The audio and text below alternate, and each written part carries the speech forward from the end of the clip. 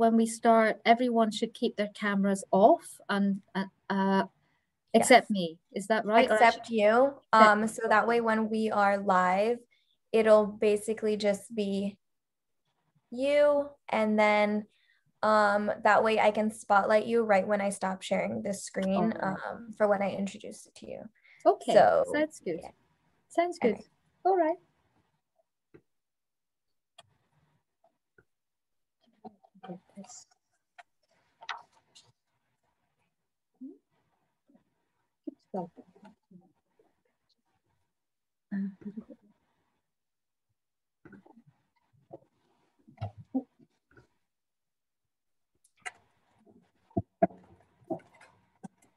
And just to clarify, we are linking adaptation and mitigation, right? The role That's of That's the one. Yeah. Awesome. That looks great. It looks much nicer than ours.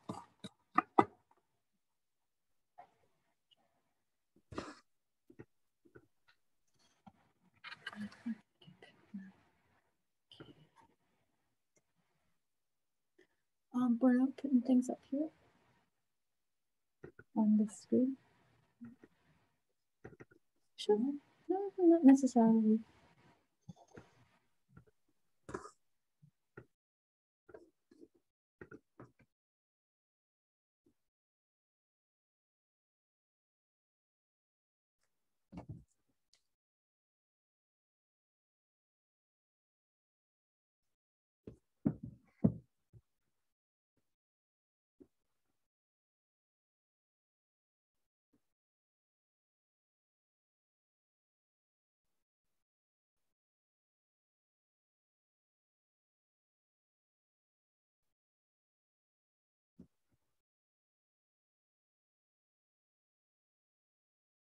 Okay, we're going to be going live in about one minute. I will do a countdown just to start the webinar and I am going to turn off my camera and I'll see you guys later.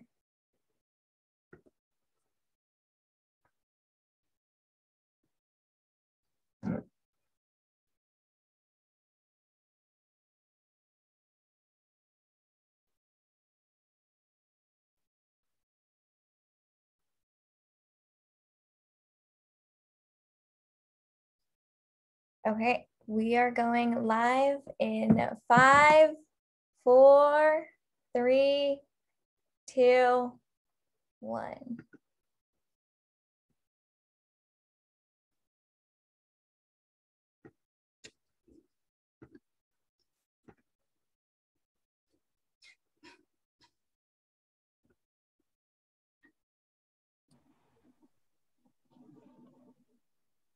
Okay, hello everyone. Welcome to the first stream of our APAN conference on communities and local resilience. Um, that's the enabler and, um, oh, that's the stream and the enabler, the, the enabler is policy and climate governance. Um, my name is Linda Stevenson and I work for the Asia Pacific Network for Global Change Research. And today's topic is linking adaptation and mitigation, the role of national adaptation plan processes in NDC implementation towards climate action for inclusive and enhanced local resilience in South and Southeast Asia. Um, now just let me share my screen and I will give you, okay. Okay, I'm sharing my screen, I think. Yes, all right. So um, again, there's our title. Um, I won't go through that again, but I'll move quickly on to our next screen. So let me just introduce um, introduce our session to you and what we want to do in this session. Um, we will look at uh, linking adaptation uh, and the role of NAP processes and NDC impl implementation towards climate action for inclusive and enhanced local resilience in South and Southeast Asia.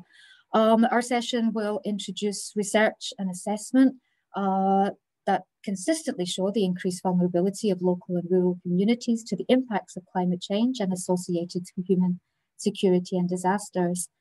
Um, while local communities have adopted robust traditional resilience practices over the years, greater resilience is needed to tackle the impacts of climate change. And the Paris Accord or the Paris Agreement has room for ensuring that this happens, but will the implementation of national adaptation plans and nationally determined contributions or NDCs be sufficient to ensure adequate community resilience and adequate engagement?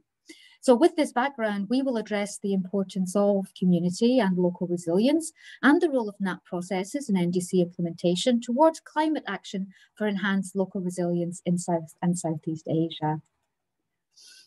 Our speakers and panelists today are from a diverse range of institutions with different backgrounds and expertise. I mean, first from APN, we have myself, uh, and we have our director, Mr. Genichiri, Genichiro, excuse me, Tsukada, and um, Ms. Christmas Uchiyama, who will be my co-moderator for today.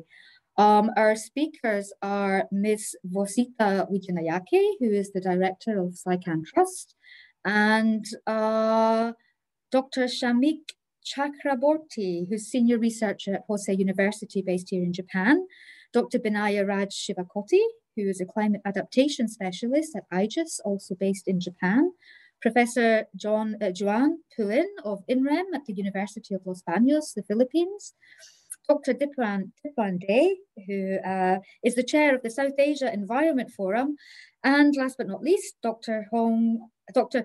Huy Long Quang, excuse me, of the Ministry of Natural Resources and Environment Vietnam. I'd like to take this opportunity to thank all of our speakers for sharing their precious time today. And actually, I'd like to thank our rapporteur who came in at the last minute, um, our Nafisa Ismail, who, who will um, be taking our rapporteur notes for the day. So again, welcome everybody.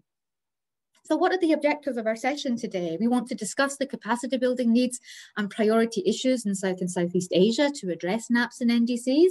We want to address critical questions related to those in the enabler of policy and climate governance for the community and local resilience stream. Uh, we want to look at the outcomes that are expected to address uh, gaps, challenges, opportunities, and best practices. And finally, we really want to provide information on capacity building needs um, and these are expected to be a key outcome of this session and how science, policy and action interlink interlinkages can be strengthened to ensure that the benefits pour rather than trickle into the local and community levels. So I hope that, that we will accomplish um, those objectives today in our session. But before we get started, um, it's always difficult with online meetings because we, you know, we find it very difficult to get that audience interaction. So um, before we get started, we would love um, our audience to join us via Mentimeter and um, to tell us a little bit about yourselves. So um, just moving on, if you could access, if you're on your mobile phones, you can access the QR code that's on the right of the screen here. Uh, that will take you directly to the Mentimeter um, page for this particular session. Um, you can also access uh, the Mentimeter link here and type in the access code, which is 25306304. And um, I think I'll give you maybe around 30 seconds or to one minute um, to do that. But meantime, also, you know, for, for questions for the speakers, um, we do really want a lot of interaction via Mentimeter and via the Q&A function on Zoom. And we hope that, uh, we really look forward to your active participation. If you have any questions for the speakers, please use their names in front of your questions so that we can direct, um, direct the questions to the appropriate speaker and, and panelist. So with that, do you think I've given enough time for Mentimeter? Everyone is accessed? All right, so let's get going. So my first question to you all, and I really hope you've accessed Mentimeter, is uh, where are you from? Okay, here we go. East Asia, Oceania Pacific, other, South Asia, mostly from East Asia and Southeast Asia are competing. Southeast Asia is up there. And here we go. We are equal, Oceania Pacific, others in South Asia. I wonder where others is from. I wonder how many participants we have. Okay, so 13 people seem to have logged on at the moment. I am going to have a little bit of a countdown on 30 seconds. I think the countdown is on. 30 seconds. Maybe not. Anyone else? 13 people? We must have more. Come on, you can get into Menti. Tell us where you're from. Okay, but it seems that we have, um, yeah, fairly broad interaction. We have a, we have four from Southeast Asia. We have, oh, we have five from Southeast Asia now. We have four from East Asia, two from other, three from other. We're still going. Maybe I'll give it another 30 seconds. This is fantastic. 16 people have responded. Maybe some people are still accessing, accessing Mentimeter. This is a really great online tool um, to just establish, you know, some some uh, information on who's actually participating since you can't really get to see each other. So it's, it's kind of difficult. So anyway, let me move on to my next question. Um, so uh, let's see, what type of organization do you represent? I mean, you have a chance to put in two responses here. Okay, international regional organization, civil society, fantastic. We have four from the international regional organizations. Ah, oh, youth, it's fantastic to see youth, even if we only have one at the moment. Ah, we have two, fantastic. Multilateral organization, one, academia, one, local indigenous communities, fantastic. Thank you for joining us. So it seems that the majority the majority of our participants seem to be from international and regional organizations, and we have the private sector. Thank you for joining us. All right, so I'm going to move on to the next question. This is a really important question, guys, because, you know, I'm going to ask this question at the end of the session to see if your minds change at all. But here's a statement. Adaptation and mitigation synergy can aid community and local resilience building. I would like you to answer strongly agree, agree, disagree, strongly disagree, or not sure. That's great. So 40, 38% and 31% are agreeing. 21% are not sure. We really hope we can change your minds by the end of this session. Um, no one disagrees, but 5% strongly disagrees. Let's hope we can change your mind by the end of the session.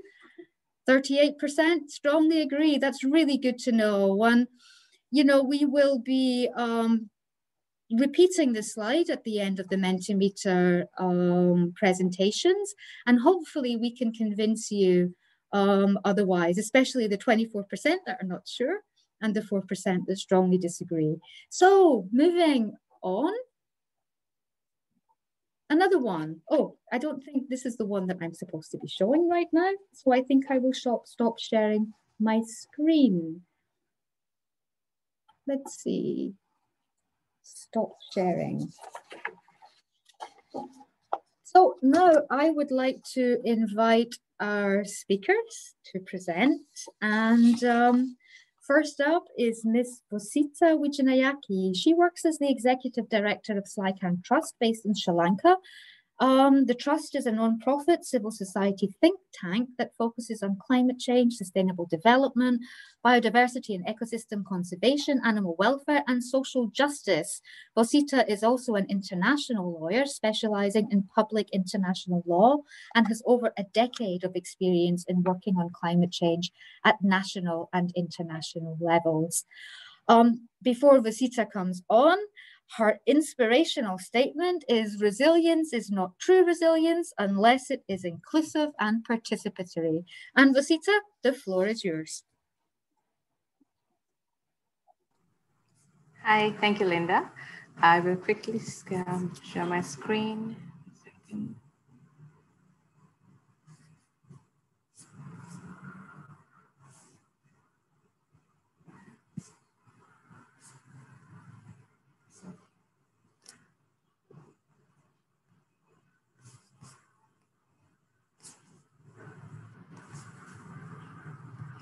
I hope you can see my screen.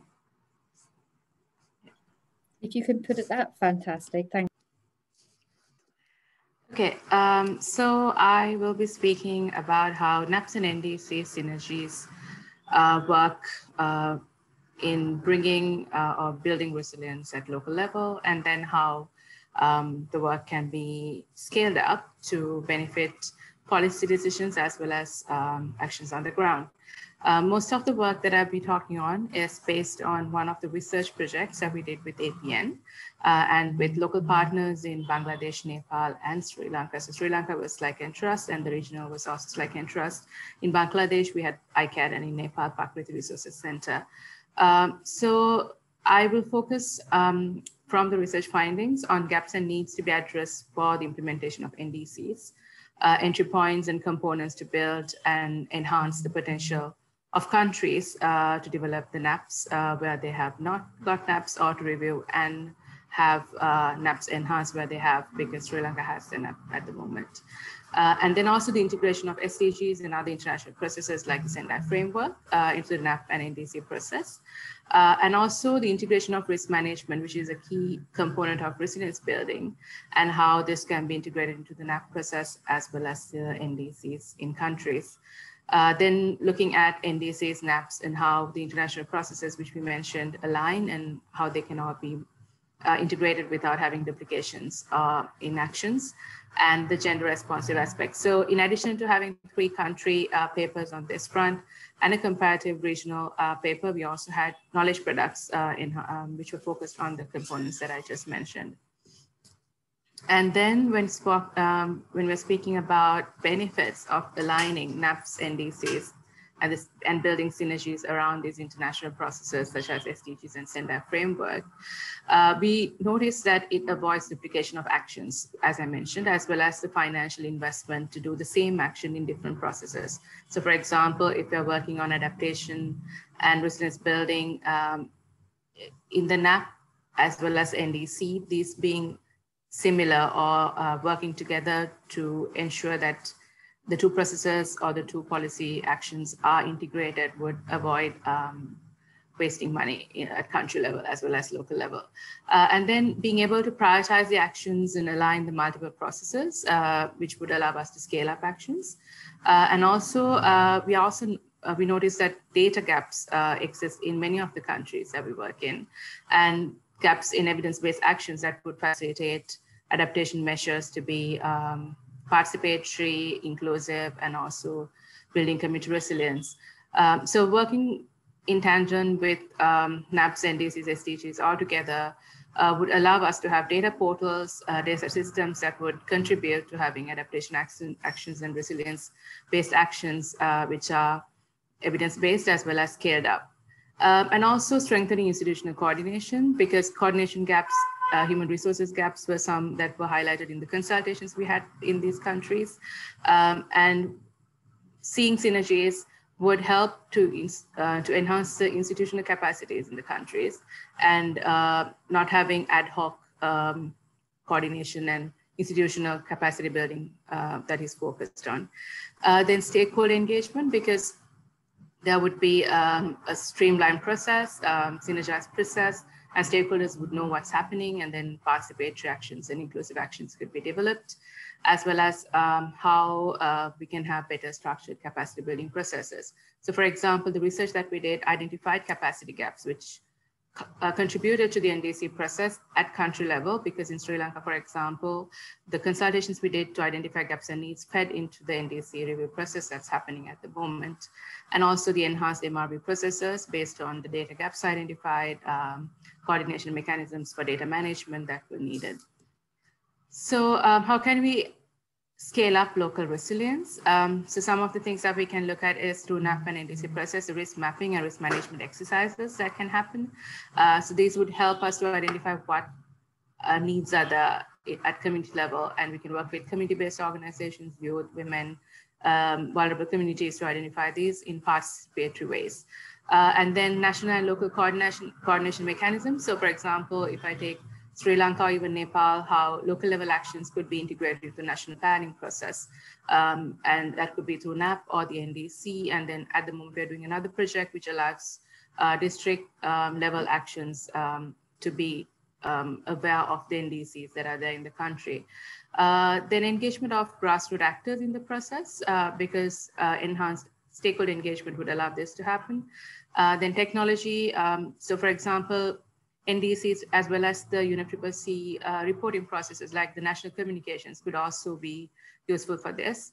Um, then piloting adaptation actions to see how some of the actions that are integrated in NDCs and NAPs could be successful or not. So context-based piloted actions could help us to enhance actions at national as well as sharing experiences across the board uh, on adaptation actions at local uh, level targeting uh, sorry targeting um, resilience. Uh, so for example, forestry biodiversity, oceans-based actions um, have been taken up by the Nairobi work program the UNFCCC, and these connect with NAPs and NDCs as well. Um, similarly, other regional processors of knowledge sharing like APAN Forum as well as other webinars that different organizations do contribute to this as well. Um, then identifying and applying contextualized adaptation actions, which are gender responsive would be also helpful. So uh, those are the things I want to highlight, but I'll be happy to elaborate on this further uh, when we have question and answer session. Thank you, Linda. Thank you very much, Vositha. I really appreciate that. Um, key message, evidence-based inclusive actions through NDCs and NAPs contribute to strengthening local and community resilience. Um, I hope our, our um, audience can keep that in mind when we ask some more questions on Mentimeter later. Now moving on to our second presenter, um, who is uh, Dr. Shamik Chakraborty. He is a lecturer at the Department of Sustainability Studies, Hosei University in Japan. Before this, he worked as a JSPS UNU postdoctoral research fellow at the United Nations University Institute for the Advanced Study of Sustainability in Tokyo. Uh, and was a visit, visiting research fellow at the Integrated Research System for Sustainable Sustainability Science, actually, which is now known as the Institute for Future Initiatives at the University of Tokyo. Um, I love uh, uh, Shamik's um, inspirational statement. The world will not be destroyed by those who do evil, but by those who watch them without doing anything. And that is a quote by Albert Einstein. And Shamik, the floor is yours. Thank you. Thank you, Linda. Can you hear me? Yes. Uh, fantastic. So I'm trying to share my screen now. Hope you can see it? We can see it. You just need to put it into present. Oh, that's perfect. Yes. Yes. Now it's in presentation mode. So um, time is very short, but uh, you know I will try my best to be short and precise. And then, uh, as Vositha, you know, explained, we can have question and answer. We can, uh, you know, explain more uh, during the question and answer session. So I have been working with this project on EBA or ecosystem-based adaptation to climate change. So it's my research falls uh, uh, more towards the adaptation spectrum than, than mitigation, but it's linked together. Um, I'm, I'm a lecturer at Hosei University in Japan and, and working as a PI, uh, working mainly with the University of Dhaka in Bangladesh and an NGO called Unnayan Onneshan, which has a long, 20 years long experience with the you know, IPLCs, indigenous people and local communities in, uh, in Koira subdivision in Bangladesh. Today I'll present a part of that case. And I'm also working with uh, uh, the Indian Institute of Technology, Roorkee, India, and Pokhara University in Nepal. So um, today I will uh, cover, try to cover the case, some parts of the case study in Bangladesh and how we are dealing with this. So, uh, you know, climate change, we are dealing with the topic of climate change, and it is a classic, classic example of, uh, you know, uh, societies getting decoupled from nature. So that this is what climate change uh, tells us. This is one thing climate change tells us, how societies are de being decoupled. Uh, and, uh, you know, I'm trying to find out how we can, you know, better synergize through a knowledge system so that this decoupling effect gets reduced or we can, you know, recouple back in a step-by-step process. And I'm dealing with local and traditional and local knowledge system uh, because uh, as many of us know, where, you know, these traditional local people live, they, they carve out a livelihood from uh, the intact ecosystems and are better coupled than, you know, the urbanites. That's the, in general, that is the understanding through you know, many years of research. So, uh, so I am also using uh, the theory of social ecological systems, and uh, particularly looking at the case of uh, TLK, which is arguably, you know, um, a, a, lot available uh, in the Sundarbans ecosystem, the mangrove ecosystem, one of the largest mangrove ecosystems in the world. what I'm trying to, what we are trying to do here is uh, valuing the landscape through TLK. It's a perception-based valuation. So what we are trying to do is, uh, you know, probe deeper into the qualitative understanding of ecosystem, mangroves, and then quantifying through GIS and, uh, you know, sociocultural valuation tools. So uh, the thinking is like this, the landscape valuation can quantify and systematize qualitative TLK for TLK based and uh, ecosystem uh, TLK backed, I can say, and ecosystem service based management of ecosystems, which is a, a necessary step for EBA or ecosystem based adaptation and can buffer because it can buffer the effects of climate change. So the idea is keeping, keeping all the pieces together as far as much as possible. Keep the you know, large sinks of carbon uh, intact, keep the ecosystems intact so that livelihoods can be acquired, you know, knowledge is, uh, does not get reduced. And it also can, the, you know, the forest can also act as a climate change, you know, carbon sink, I'm sorry. So uh, in all this landscape valuation can connect to all these things uh, and lead to a local scale solution for uh, to climate change. And it can inform EBA enabling activities as for example, the NDCs and NAPs through uh, EBA on ground-based activities uh, as for example, the research to tap the you know, traditional and local knowledge. Uh, what we uh, you know, did in the last few months uh, is asking different landscape values from four different resource user communities, fishers, crab collectors, woodcutters, and honey collectors who use the forest. And as, as you can see, if you overlay these, I have not done it here, but if, if you overlay these maps, you will see the forest and the river systems are, you know, used a lot, used a lot, right? If we overlay these map, these maps. But, but one important thing is that they are going for, you know, crab collectors are just going for crabs, woodcutters, mangrove poles, honey collectors, honey, fish, fishers, uh, you know, take different types of fishes, but these three groups are, you know, have a, a very low amount of, uh, you know, impact on the, on the forest. They are taking uh, some single species or several single species. So very selective resource use is a characteristic of these mangroves. Uh, we also uh, you know, asked the respondents about their importance of their ecosystem. And you can see that the natural beauty, life and livelihoods, and religious and spiritual, these three values came up really uh, starkly through the, the, through the focus group discussions. And these, it is here that, uh, you know, the mangrove forest, the intact mangroves through the mindset of locals uh, are connected with the locals' livelihood. I mean, connected with the locals through the livelihoods. So as for example, when we uh, talked about the combat, com climate change um, mitigation uh, capacity of these forests, as you see, quite interestingly, they say it's somewhat important. So it, it didn't hit this uh, highly important mark. And that kind of surprised me a little bit. Uh, but uh, of course, we have some background that large cyclones also hit the area, like Sidr and uh, Aila in 2007, 2009. So they have kind of maybe some opinions are, you know, uh, kind of mixed opinions were there because of these large storms, you know, devastating the village landscapes. But we see, uh, you know, very strong uh, sense of natural beauty of the forests, intact forests. And the forests are, you know, spiritually connected with uh, the people. Nick, you have 30 seconds. Sorry? You have 30 seconds, please. Okay, yes. So this much for now, and I'm also looking forward to question and answer session so that I can, uh, you know, explain things more. Thank you, Linda. Thank you so much, Shamik, and sorry for interrupting you. Um, it's one of the worst things in the world as a moderator.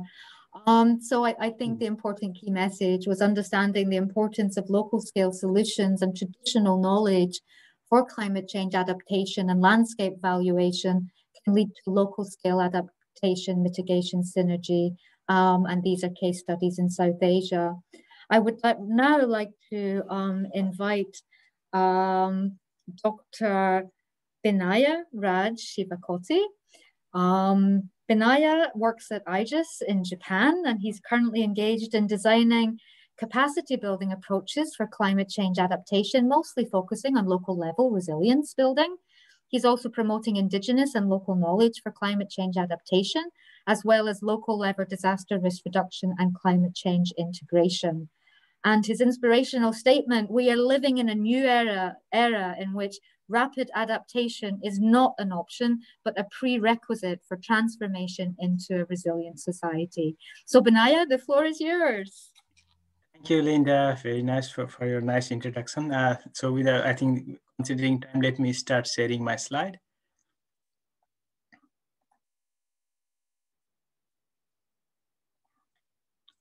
Can you see my slide? Yep, all good. Okay, let me start. Okay, so today I will be uh, mainly speaking about our experience on this uh, implementing APN capacity building project, capable you may know all know, on focusing on forest sector NDC implementation in Nepal. Uh, it's jointly implemented by IGES, uh, University of Southern Queensland, and involving many officials from the Ministry of uh, Environment and for Forest and Environment, and also provincial government. And this is this also builds on IGES work uh, since 2011 on action research in Nepal. So uh, in this uh, presentation, uh, I would like to make uh, mainly three points. The first about uh, why forest sector on the adaptation, mitigation and adaptation. Second about the capacity gaps and how third is how we can address the capacity gap, especially through education, about education and technical capacity at the local level or community level. So you know, like a forest is a kind of a one example of a nature-based solution. So it's a, it has not only carbon, uh, like a, uh, it is a carbon both sink and source and sink, adaptation, disaster uh, risk reduction, and through its ecosystem services, it supports a lot of livelihood, biodiversity, ecosystem, indigenous and traditional knowledge. But uh, the one problem we have is uh, uh, on the opposite because it's our uh, sheer negligence or that it has become uh, one of the top uh, GHG emitter and its potential sink potential remain largely untapped and adaptation benefits are really underappreciated. So, uh, and in the Paris Agreement also there is a mention about this uh, mitigation, joint mitigation and adaptation. And Nepal as a pioneer country, uh, which has uh, done this community-based forest management over 40 years. And in its NDC, there is a mitigation and adaptation-friendly uh, forest management is a prioritized. The role of uh, community is uh, kind of considered very important. But for communities, tapping these climate benefits from forest is still a high-hanging fruit. So then comes uh, what are the capacity, knowledge and capacity gaps we are talking. So first is about the uh, um, uh, understanding what are the NDCs and subsequently what will be their position in the NDC, which is on uh, NNAP, which is under development, and what are the accepted roles of community for and the cost and benefit of their participation and what are the risks of non-participation. Then only comes the local readiness and we identified the three type of capacity. One on how to assess adaptation, how to assess mitigation, carbon source and sink management. And third is the critical part is uh, governance.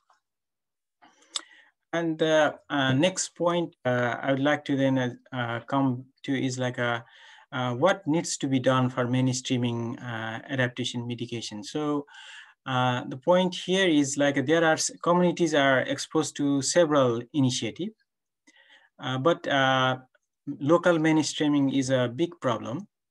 And for community, it doesn't matter whether you say adaptation, mitigation, whatever language you talk, but for them, what matters is the services it provides, what are the economic benefits, what are the resilience building options. At the that's what we need to address. And for that, uh, we come up with, uh, we found out that's uh, an integrated assessment, planning, and implementation is needed to address the capacity gap. So that means like uh, how to conduct this kind of uh, community biomass monitoring, uh, how to plan and implement uh, community-based adaptation action, and how to assess the quality of governance. We talk a lot about governance, but we don't know how we can assess the government. So we propose a kind of a, there is a need to do this quality of governments. So the key idea is not, uh, maybe it's not necessary for the communities to know all the technicalities, but for them to know the steps, how they can take it, execute, and most importantly, communicate them with the, like the upper uh, levels. So for example, from uh, community levels to the national and international level where there is a huge gap. So I'd like to stop here and maybe uh, would like to talk if there is opportunity for in during Q&A. Thank you. Thank you, Linda. Thank you so much, Binaya, for a great presentation. And from that, I got the importance of education and technical capacity for reporting and scaling up adaptation mitigation in the forestry sector. And really importantly, the quality of governance as related to mitigation adaptation synergy through integrated planning and implementation, which is crucial, I think, for this, uh, this dialogue that we're having today. I'd now like to move on to our next speaker.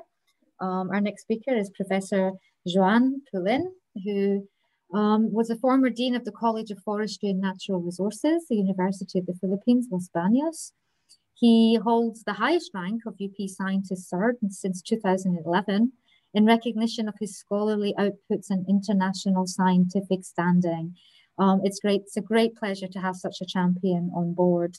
And um, for an inspirational quote, uh, Dr. Pulhin, Professor Pulhin, I should say, believes that capacity development of local government units is the key to building climate resilience at the local level.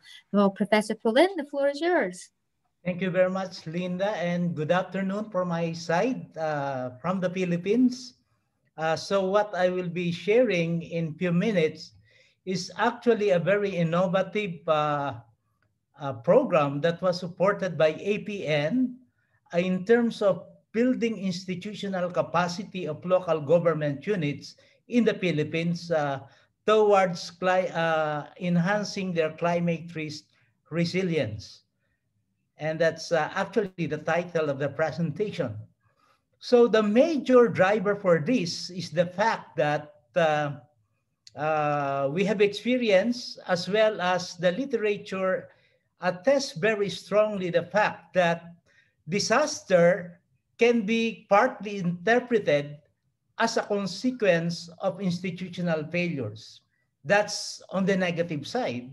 But on the other hand, avoiding disasters and being more prepared and more robust and more resilient can also be interpreted in terms of a robust institutions. And so this is essentially the main argument of this particular capacity development initiative that APN has uh, really supported. Uh, and so we are drawing from the Institute of uh, Social and uh, Ecological Transitions uh, Framework. We build on it, uh, where on the one hand, uh, we want to understand risk and vulnerability uh, by looking at different agents, particularly local communities. That's why we are focusing on local communities and what happens to them in terms of resilience building,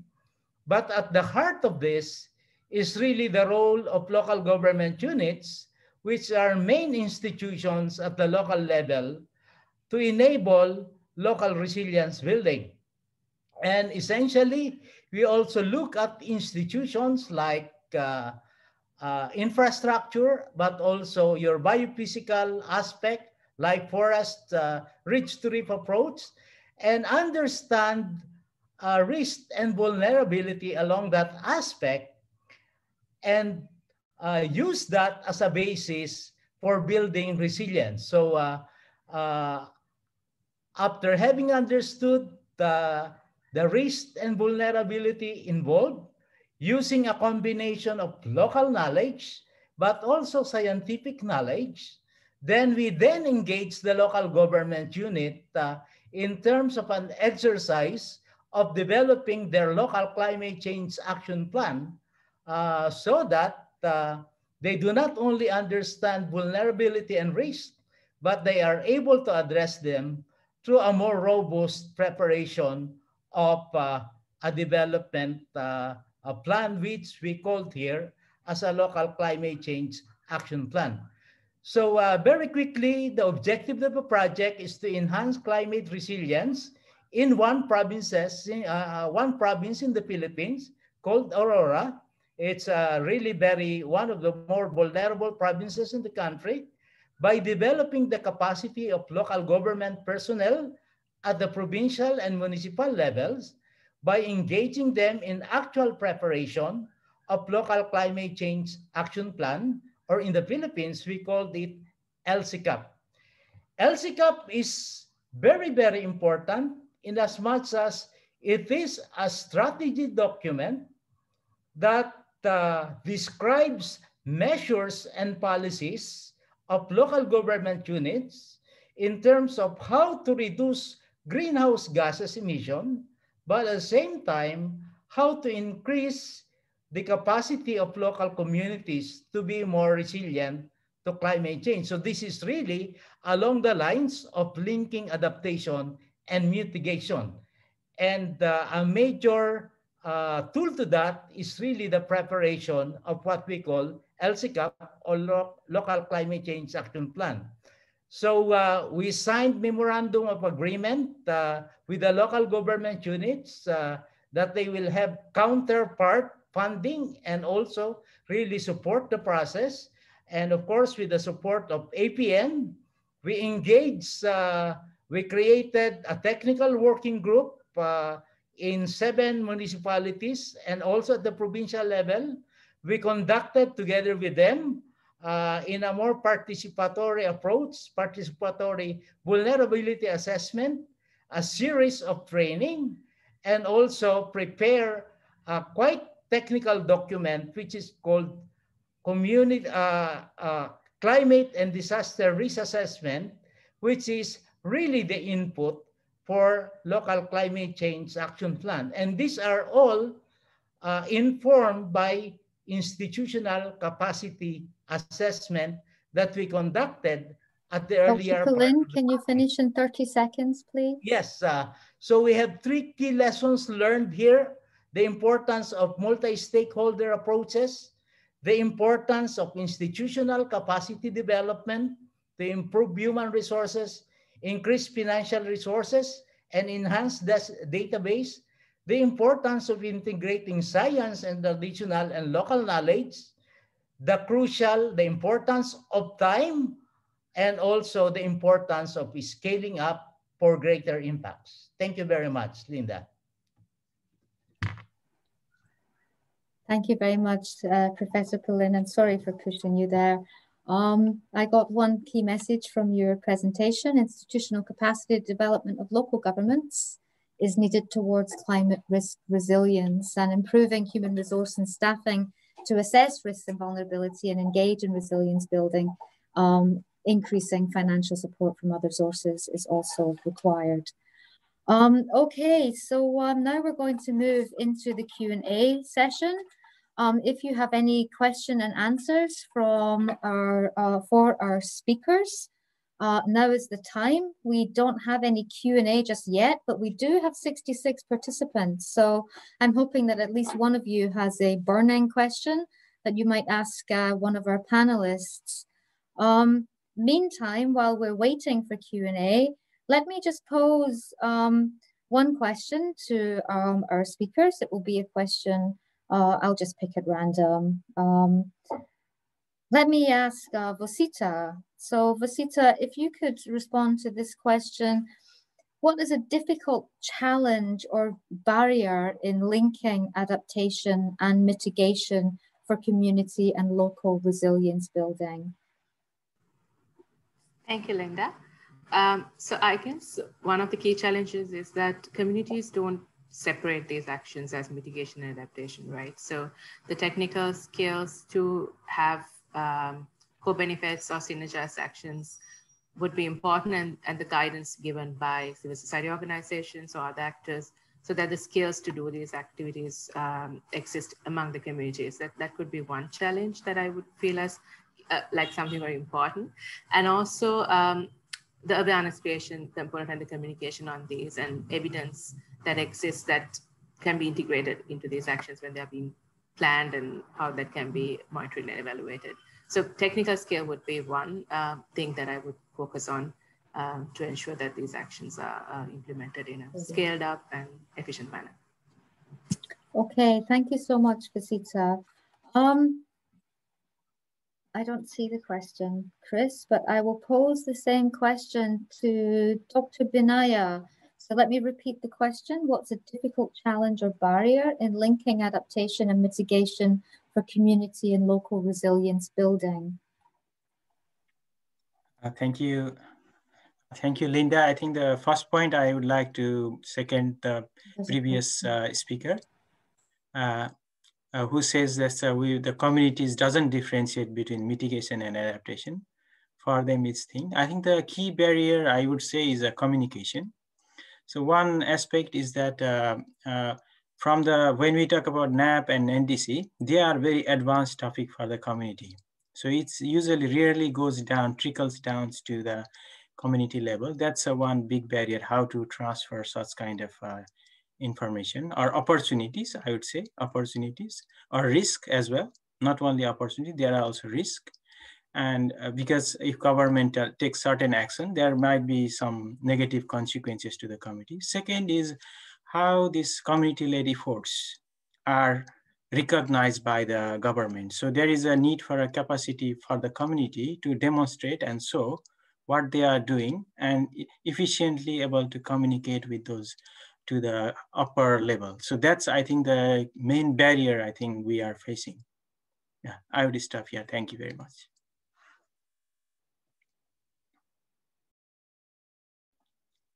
Think you are muted, Linda. Thank you, Binaya. it's always a fatal mistake, isn't it?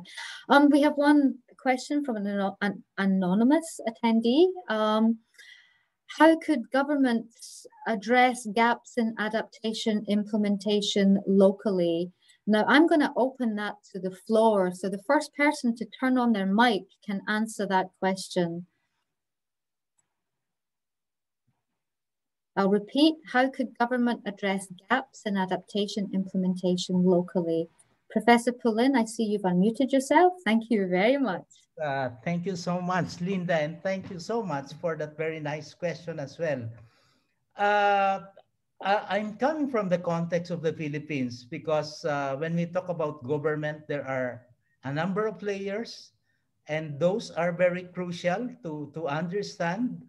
Uh, at the higher level, uh, at the national government, they can create an enabling policy uh, so that adaptation uh, can be mainstream, can be implemented. They can provide a lot of support, uh, both technically, uh, but also financially.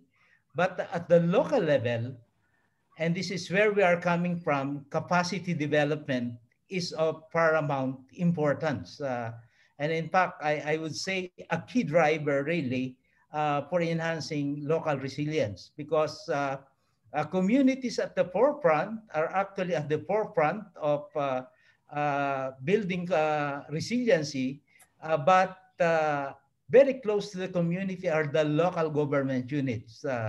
and so this is where now the crucial role of local government units comes in, in terms of, I would say, empowering local communities. So not unless you have a very uh, capacitated local government units uh, that can really support uh, local communities, then uh, it will be a great challenge to enhance local adaptation. So uh, that's it for my, for my side. Thanks so much, uh, Professor Pulhin. We really appreciate that. Um, we do have one other question. Uh, what are some points to consider when linking adaptation, mitigation, to the management of local social enterprises. And I'm actually going to ask that to Dr. Shamik since uh, I haven't asked you a question yet during this uh, speaker's discussion. Thank you, Linda, and uh, thank you for I'm sorry. Uh, yeah. Thank you for the very nice question. Um, you know, adaptation and mitigation. For I can uh, try to answer this through my case study. Actually, uh, my case study. I mean, our case study uh, tells me that uh, giving voice to you know indigenous peoples and local communities can be one way, one point, and uh, it is a kind of inter interesting landscape because you know this uh, probing this uh, knowledge base or you know co uh, creating landscape together with uh, indigenous and local communities has been touched uh, recently especially after the ipbes i think many of us know this.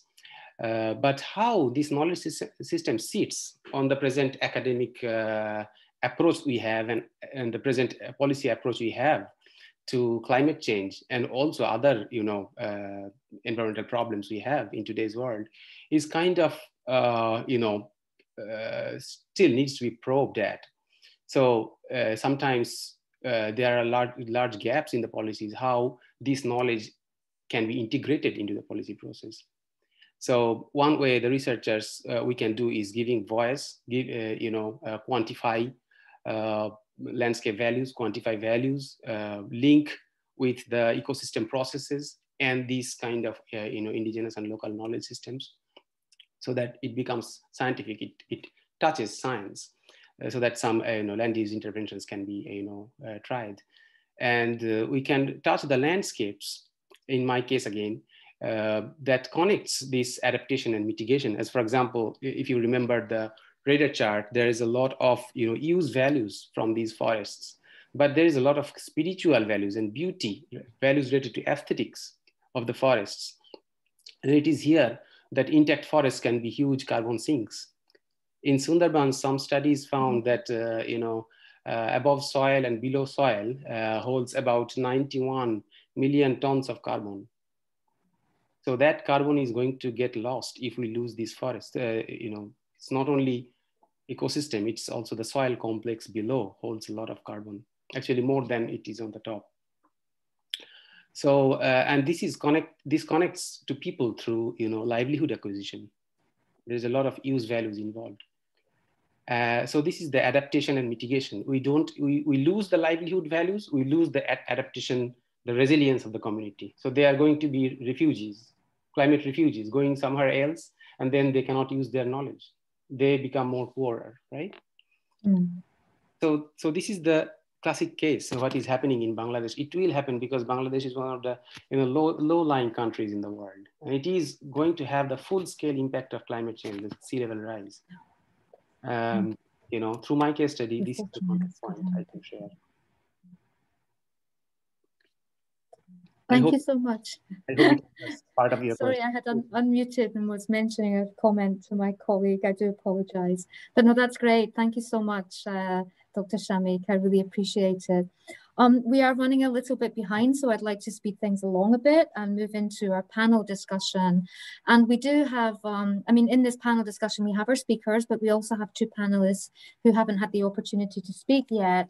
Um, and I would like to pose a, a question um, to, to Dr.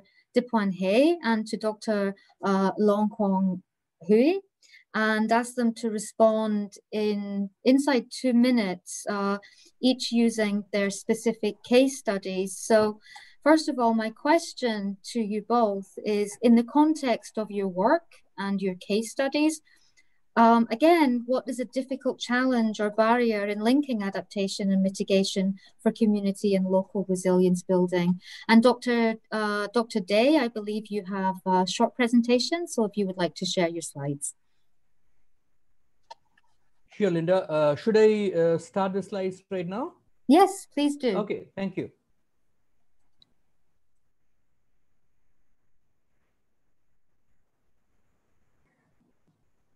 yeah i hope you can see the one yes we can see them okay yep. uh, very very good afternoon from india and it was really a nice discussion and i wish we could have uh, much more of time to discuss this very potential question of linking adaptation and uh, uh mitigation together Uh, I would be spatially speaking from a point of view uh, wherein uh, India as a, as a big uh, landmass and a big mass of people and big, say, policy designer is concerned. And I will just focus down to a very small aspect as a window to look into this particular problem of linking adaptation and mitigation together. And this small aspect is taking a very large shape these days, and that is about the stubble burning. A uh, lot of agricultural waste is unmanaged, and finally, it goes into the soil as ash because these are burned on the field itself. So with the support from Asia Pacific Network for Global Change Research, uh, we did a project uh, which came out successfully with a number of learning. Uh, I, I, would call it uh, adaptive learning, uh, wherein we found that if we can use this agricultural wastes uh, in different, say, form and feature, like if it is being used as mulch or it, if it is turned into biochar, anything other than ash, and it is added to the soil, uh, then probably the soil function increases, the biological activity of the soil increases, and that reflects as a huge uh, increase in the production and a very win-win situation in managing the waste as well as supporting uh, the poor marginal farmers. Now, this intervention actually reduces emission, uh, agricultural emission, uh, which is a major concern these days. And at the same time, uh, it is also a big uh, reason behind air pollution in the Indo-Gangetic plain, which is coming from the northern Indian uh, part of the subcontinent and moving down as a, a long transport pollution, even down to Dhaka. So that's a major concern, and we wanted to uh, trigger into that.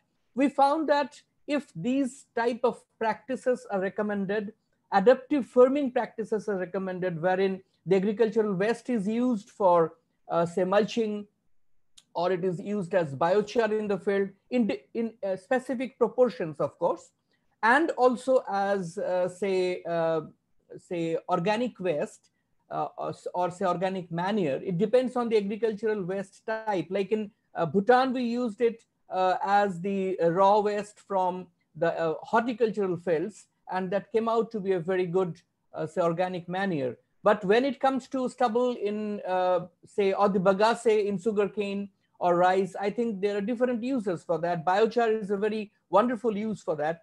And this could definitely help the poor farmers.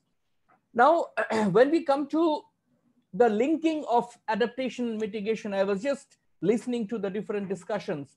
What I personally feel that if we look from the, um, from the window of the marginal commons, what happens at the community, at the beneficiaries? So what we find is adaptation is basically uh, developing a, a, sort of a habit uh, which will be sustainable, which is long-term, and that refers to the resilience of the community. But whenever we talk about this habit, definitely there comes in an opportunity cost. Now the question comes that how to compensate this opportunity cost. So what we usually try to do is we try to compensate this from the payment of environmental services.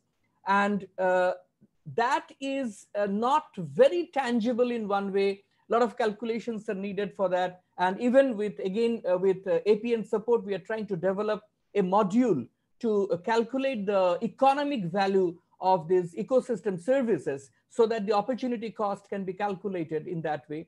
So that is what we talk about adaptation. And when we talk about mitigation, it's a quick relief. And it uh, takes a lot of time uh, to trickle down to the bottom. Just one small case study I'd like to give you. So water and energy.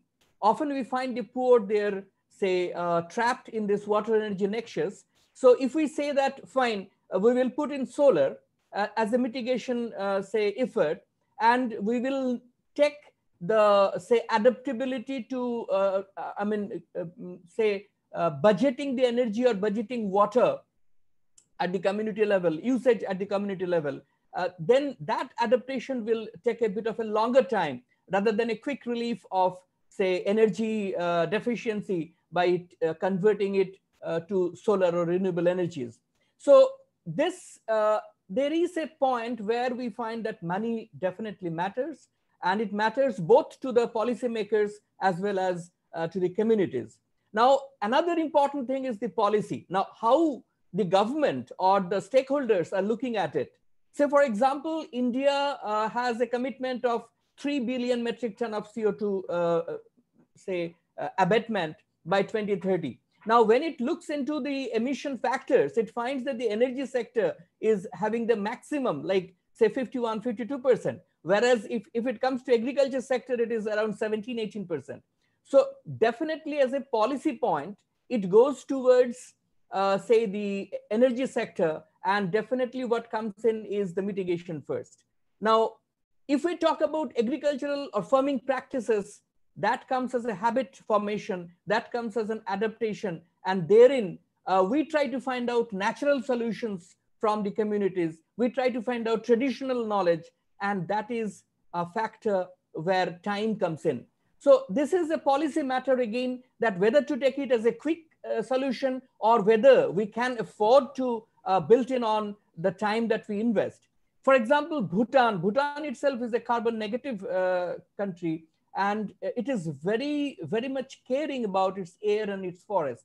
So when we talked about this agricultural waste management, which is a major cause for forest fire in Bhutan, uh, that was immediately taken up as a policy implication um, a measure that how this agricultural waste uh, management can be uh, taken down uh, to uh, the commons. So that definitely depends on the policy. And I would like to say that the marginal commons, they do not probably understand the adaptation and mitigation, but definitely they understand which policy is coming to them and which policy is bringing them handful of money so that they can survive uh, in this, in this uh, say, uh, dual uh, fight of climate and policy itself. So that's a very, very tricky question. That's a very uh, subtle, uh, fine line between adaptation and mitigation that comes um, when we talk about the commons. And that is one reason I thought that uh, I would like to uh, share the quote from Obama that how quick it is. We're the first generation to feel the effect of climate change. So that is that how uh, that much quickness is there in this particular problem. And we're the last generation we can do something about it. That is the urgency of uh, understanding and uh, say responding to this particular problem. So uh, that was basically my presentation and uh, I would go back to Linda and look into uh, the questions that come up. Thank you, Linda. Thank you very much for thank, this opportunity. Thank you very much, Dr. Dey. Um, I'm getting too soft. I didn't want to cut you off halfway through. You were over time, but that's all right.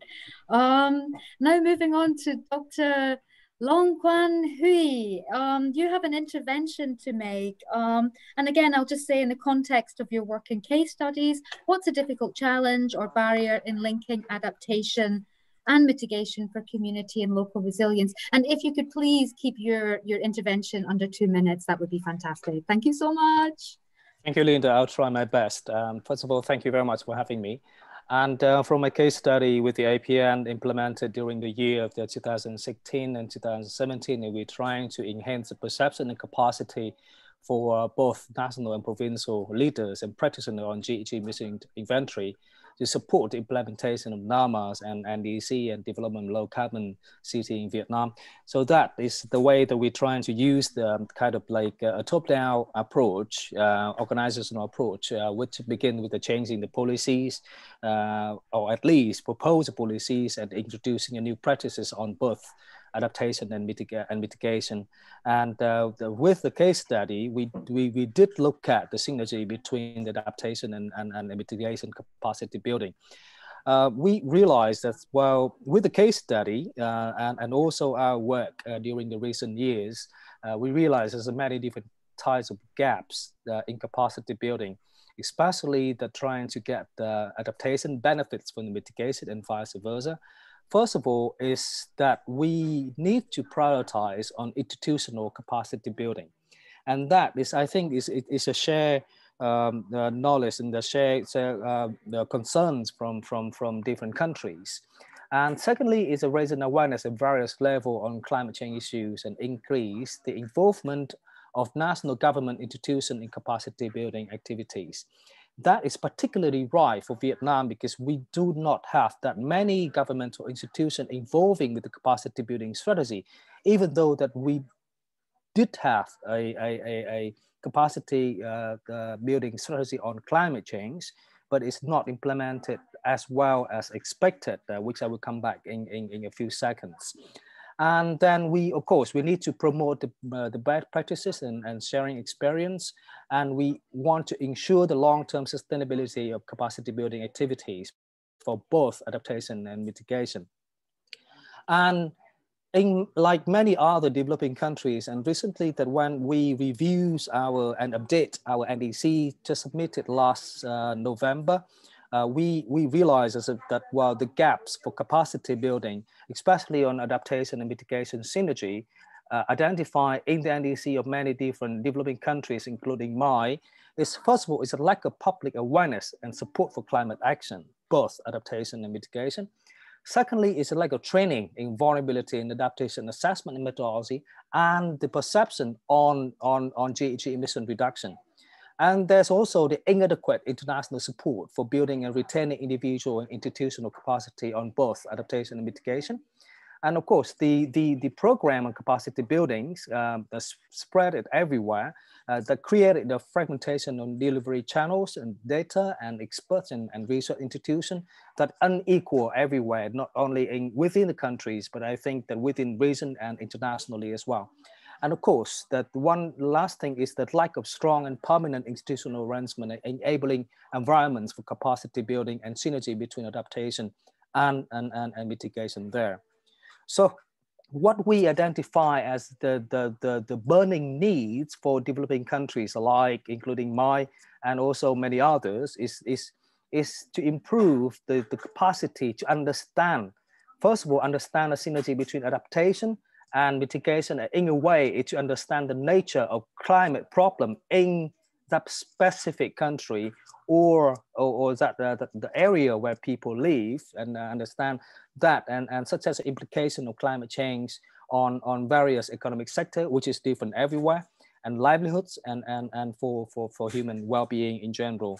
Uh, and that is a way to get the community to get more involved and uh, to improve the capacity to formulate and implement national actions. And that very much related to the policy made uh, within each country or even region in a country. The, uh, like Vietnam, we have different cities that they may have, mega cities that may have their own climate change policies as well. Uh, to in order to limit the scale problem which may arise through through the activities to respond to climate change, both adaptation and mitigation as well and of course, uh, to limit the human, ecological, economic, and other society impacts through the measures that they apply to mitigate the risk uh, on, of climate change risks and try to adapt to them. And uh, the, the, another one, which is a little bit more on the international side, is the capacity to analyze, build consensus, and to articulate the national interest in the UNFCCC uh, the process uh, because since, since um, uh, Marrakesh Accords in, in 2007, we have many different capacity building programs under UNFCCC, which countries, developing countries trying to follow. So uh, with, with that, we would like to, to uh, what we propose within our case study and also what we always trying to, to, to propose to the policymakers here in Vietnam is first of all, we need to understand the national and regional needs and, and challenges all the way down to the grassroots level at the community level. And that also is supported by UNFCCC as well, that we need to, to develop the country-driven capacity building that synergize between adaptation and mitigation accordingly to the needs of the country and of the region. And we need to have a long-term sustainable system for capacity building. And I realize that not many countries or even economic sector would have their own capacity building strategy that focus on their specific needs and social economic development strategies. And without that, that is not really going to the action of, of every economic sector or regions. And we, we also need to realize the capacity of in-country capacity system and, and capacity suppliers. And, and, and that, that would relate to the role of of donors, of the government, of the people who involved as a, as a, as a capacity providers. And, and we need to have appropriate arrangement for that to realize the differences, the difference uh, uh, between adaptation and, and, mitigation needs of each community and, and, and, and individuals uh, all the way down to grassroots level. So uh, with that, um, I, I think that, well, between adaptation and uh, mitigation, there's always some benefits that we can always exploit, but we haven't realized them yet properly for each reason and use our resources properly for that. And, and with that, I'd like to end my, my, my intervention here. Thank you. Thank you very much, uh, Dr. Huy. Um, really appreciate that intervention. Um, we, time is moving on. We're a little bit behind schedule. Um, uh, let's have a really interactive session now. If I can ask everyone, all of our panelists, to turn on their cameras, um, then I'm going to share my screen and we're going to do a little bit of Mentimeter and respond to some of uh, some of the feedback on, on Mentimeter. Thank you so much for turning on your screens. Um, let me now just share my screen. And uh, here we go. Okay. So our next question for the audience. As policy tools slash instruments, are NAP processes and NDC implementation important for local resilience? Um, that's a question to our audience. Um, I hope you're all there on Mentimeter. We have three responses so far. We have 60, I think 66 participants. Um, you can see the code if you haven't joined up with Mentimeter yet. You can see the code at the, at the top of the screen. Um, we have eight respondents, nine respondents. I think we could go for a few more. We have 10. Okay, it seems very important at 57%. 15 is coming in. So at least no one has said it's not important, at least no one yet. 16, there's 66 participants. Come on, people, you can you can engage with Mentimeter. It's fun. 16 participants. We now have two more questions in Q&A, I believe. We can address them later. Okay, 17. Let's try and go up to 20. See if we can get to 20. All right, we seem to be sticking at 18. So um, panelists, you see that 50% of our audience finds that um, policy tools and instruments are very important. 39% important and 11% somewhat important. And um, fortunately, we have uh, no not important. So, um, oh, 42%. We've had another another response. Let me stop sharing my screen and I would like our panelists, um, based on that, I would like to ask two of our panelists specific questions. And first up is uh, Vositha. So drawing on NAPS and NDC's implementation and the responses that you see, that, that you saw on, on the screen, we have 22 responses, but most are very important to important. Um, so responses from the audience on policy tools instruments. Is community resilience increasing adequately uh, to address climate change impacts in terms of those NAPS and NDCs interaction?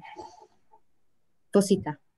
Yeah, um, so a lot of countries have a local um, level action integrated into uh, the NAP process. For example, I think um, Nepal was one of the pioneers. Uh, local adaptation plans were developed which focused on integrating local uh, resilience into the national adaptation, well, at that point NAPAS, but now this has been taken into account in countries at national adaptation plans and then also in NDCs as well. Um, so when in just an example from SLYCAN Trust, uh, we work on risk management and linking it up with loss and damage and adaptation in the agriculture sector. And doing these actions, we focus at um, local level as well as pilot actions in districts in Sri Lanka. So we see a certain amount of resilience being built through these activities with policy interventions, and we try to have the evidence from the ground integrated into the NDC review process. So there's a link on uh, link to how local actions can benefit the policy actions at the national level. Um, but it's it's something that needs to be done consciously because it's very easy not to have this. So um, going forward, I hope this is something a lot of people would look into when uh, developing policies as well as project actions uh, at local and national levels. Thank you. Thank you so much, Vositha. Um, and moving into another question, I'm going to ask, I'm going to pose to Professor Pulhin. Um, how can climate action be designed at the local level to co-achieve mitigation and local resilience building? Professor Pulhin.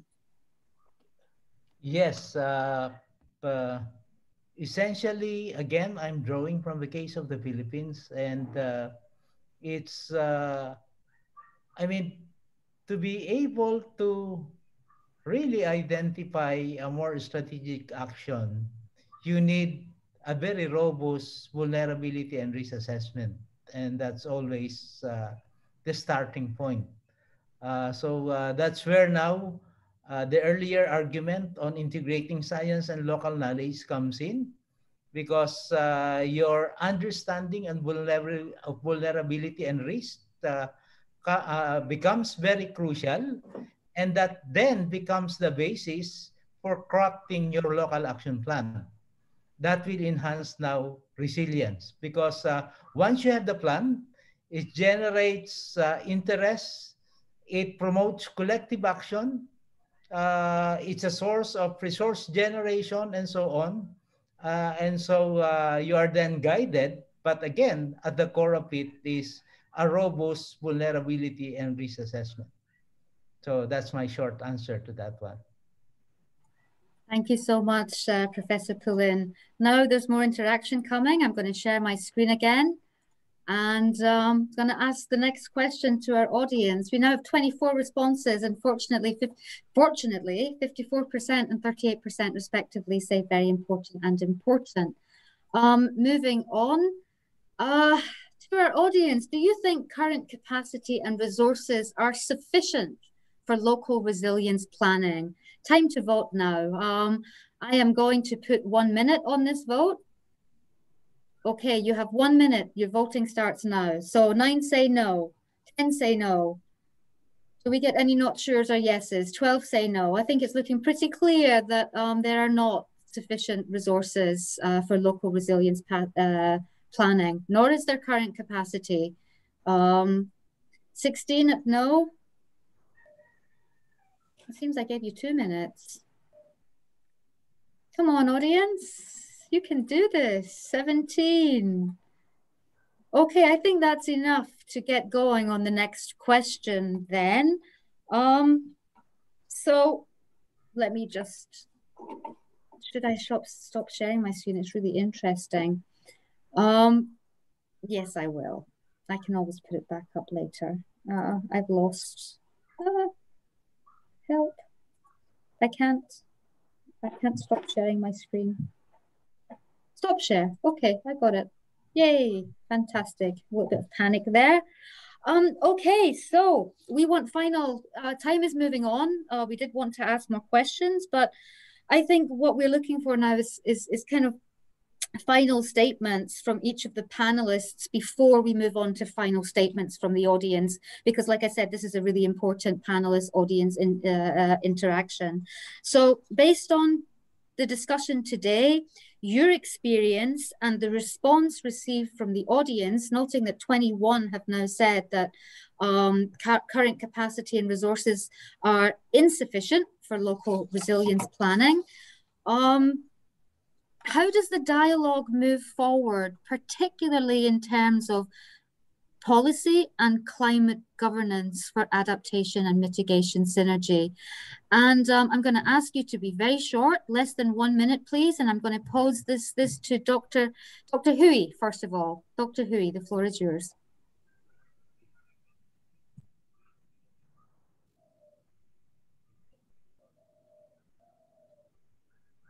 Can you unmute, please?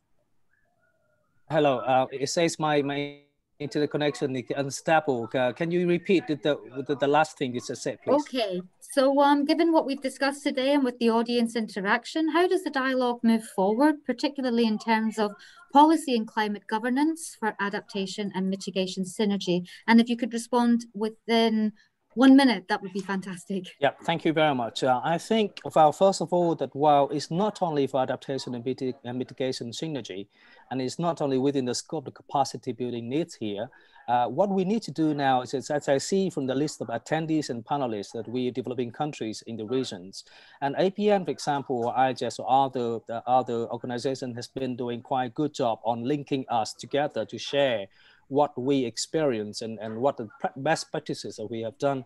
And that, and, but the most important thing that we need to identify the needs for different regions and different communities there that, well, if we can share what types of nature of, of, of, uh, of climate issues that we're experiencing in, in, the recent years and in the, come, in the near future, and then we can, we can identify the needs there. And with that, of course, that there will be the scatter around in, in, in different uh, areas and different different uh, organizations, communities as well. But the, at least that while we can find the share uh, the uh, concerns and also we can share the practices that we, we, we can do together there. Thank you. Thank you so much, Dr. Huy. Um, Dr. Binaya, uh, thank you, Linda. So let me make my point. I think this, uh, when you come about uh, finance and capacity, I think it's are very closely linked. So I would like to put it in other way. Like I think uh, what we first need to think about is how to make community build the capacity so that the communities uh, local level can absorb the existing resources that are available there are it's not that finance is not though limited but absorption capacity is very weak so once we increase the level of absorption capacity, then the, the sources of other uh, financial channel will open up automatically, in my view, because then you will ensure that the financial, the whatever finance will come will be uh, will have risk. risk. The issue of, at this moment is whoever wants to finance at the local level, they have a difficulty in assessing if their finance will have any impact or not. So we need such kind of system. And there the government and the NAP process comes in a way as a risk uh, risk taker. I mean, they cushion the risk. So because if uh, somebody wants to, like, for example, we are talking about the private sector these days, if private sector wants to invest in the local level, uh, how they can avoid that risk. So at that case, the public finances, equally, uh, especially the adaptation finance that is coming will be a very handy. And in that respect, I think that I also appreciate a APN role in uh, providing a lot of uh, avenues for the capacity building, especially through this capacity building program, as well as the proposal writing that you are offering. So in that viewpoint, I think we need uh, more effort in uh, grooming the capacity at the local level to assess the existing resource rather than say, continue to say that resources are not available. Thank you. I would like to stop here. Thank you so much, Dr. Binaya. Dr. Dey, under one minute, please. Uh, yeah, Linda, thank you very much. I think uh, we need more of APN, like uh, capacity building in the regional level is very important because climate change, I do not think it's just a uh, political uh, boundary limited thing and regional capacity building is very much important, which we are doing through the CAPaBLE uh, framework. Uh, the second important thing, I would say that uh, resource budgeting at the community level is a very important aspect that we need to look into. Resource budgeting is actually resource amplification. So whenever the, uh, say, investment uh, opportunities are created, if such type of a resource budgeting is done, I think that gives a, a collateral for the uh, say further investments.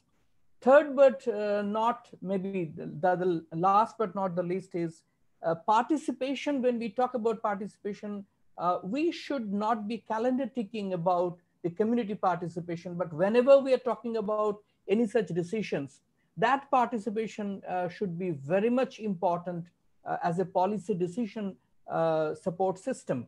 And over that, if we plan our national policies, uh, not driven by the consumer economy, I think we would get a better result, a quicker result. Over to you, Linda. Thank you so much, uh, Dr. Dey. Sorry, I was just a little bit distracted there.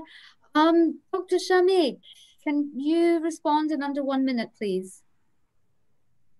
Thank you. Um, as I have, uh, you know, uh, talked a little bit uh, on this matter through my presentation, my answer to this question would be pretty simple: uh, harnessing the power of nature to, you know, as much as possible, to to to uh, link these uh, things, to to, to link the mitigation and adaptation together to make the dialogue move forward.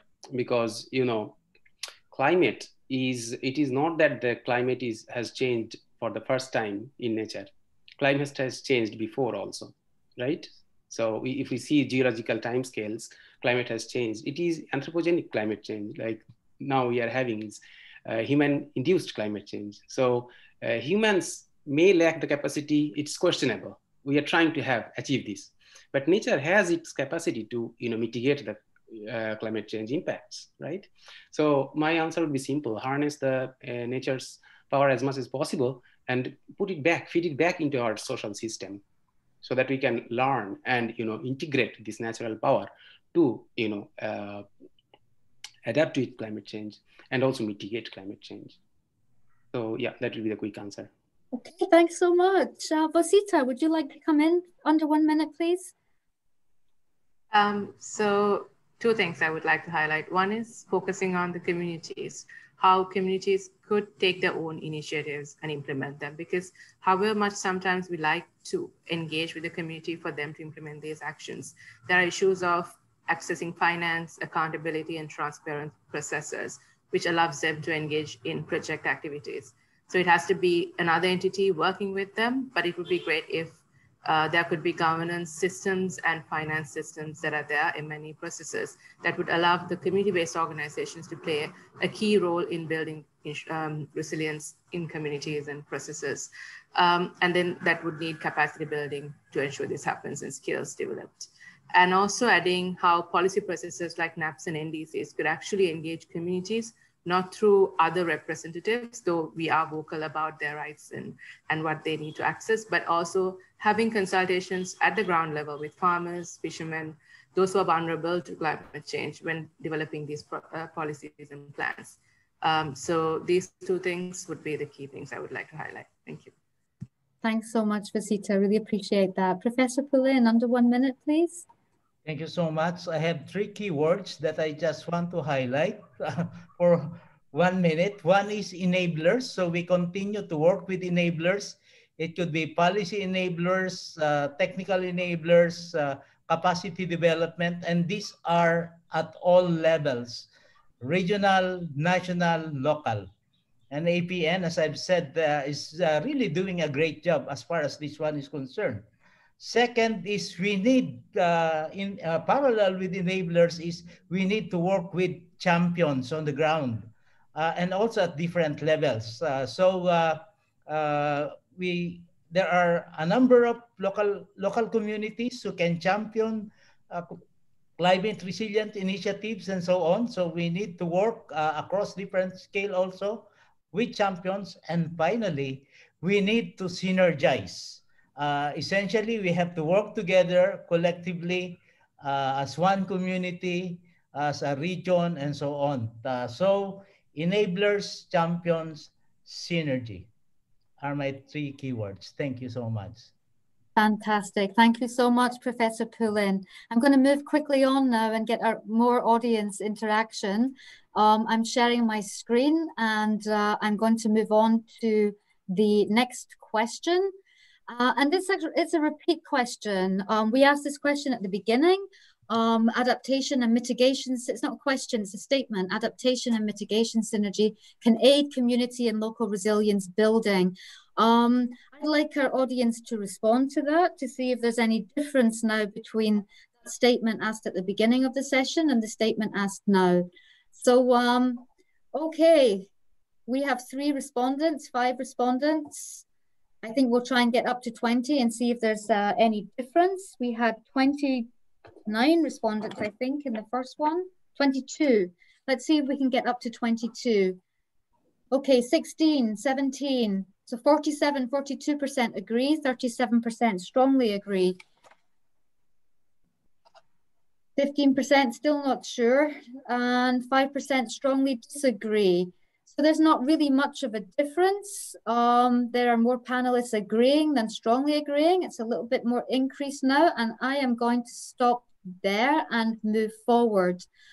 Um, I'm going to skip this slide. So my last question in one to two words to our audience. What did you learn from this session? How can we move forward?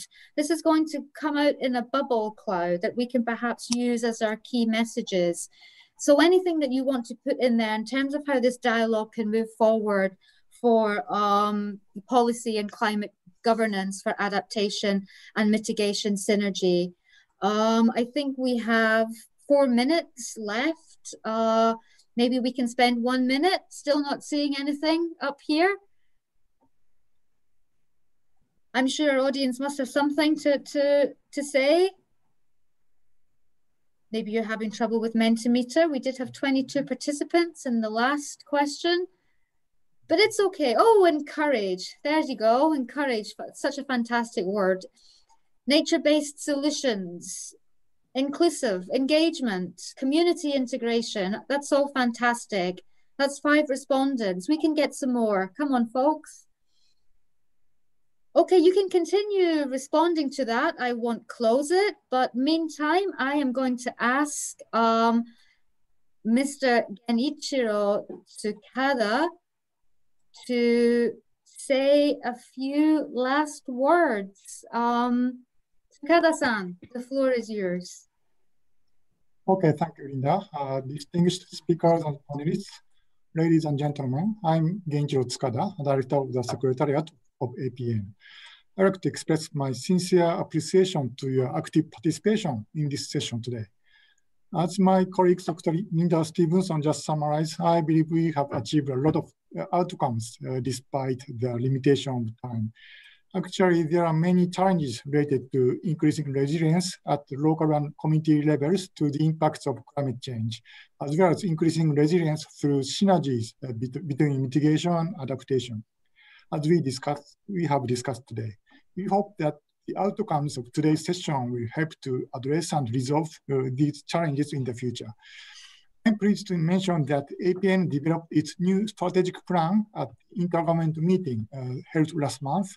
And the new plan showed that APN puts a focus especially on activities in the field of climate change adaptation. APN is committed to contribute to addressing issues related to today's discussion by promoting relevant programs and activities in close collaboration with like-minded institutions. Once again, thank you so much for all, your, all of your active participation and hope to see you again in the future. Thank you very much. Thank you very much, uh, Tsukada-san. I'm just going to, oh, we got one minute left. Maybe I shouldn't, but please tune in to the key messages at the end of the day. We got lots of results um, from our Mentimeter and we will be sharing all of those key messages in the next session. I'm sorry I couldn't do that today. Um, but thank you very much, panelists. Your, uh, your presentations and your interactions were wonderful. And uh, I would like to close out at that. Thank you very much. Well done. Thank, Thank you, Linda. Great facilitation. Thank you, Thank you very Thank much. You. It was really great. Thank you. Thank you, Linda. Thank you very much. Thank, Thank you, you very much, Dr. Dey. Thank, Thank you, Linda. Thank you very much. Thank you all. Thank you, Thank you all audience uh, for your Thank you, Linda. Bye. And Thank listening. you, Vositha. Please tune in to the key messages session where hopefully we can, you know, summarize all of your interventions yeah, but it's okay. I think we're we're we're not live anymore, but everyone is still here. Um, let's move. Louis, Louisa, how did we do? Good. So we are still live, and I just wanted to thank everybody for attending today's session as part of the seventh Asia Pacific Climate Change Adaptation Forum. So please join us in the upcoming sessions, highlights of day one, and a special International Women's Day artistic exhibition hosted by the Embassy of Italy to the Kingdom of Thailand. You can find the link to join these sessions by returning to the Sessions tab on the APAN Forum Conference Community on Hub Hubilo. Within the community, you can explore the exhibitions as well as chat or set up meetings with other conference attendees. You can also join the conversation on social media using the hashtag APAN2020. Thank you once again for your participation, and I'll see you in the next sessions. I do have to close out this session um, because it is still live. So thank you so much. Thank you, Lisa. Um, to the panelists you. and Thank Dr. you. Take Bye-bye. care. Bye.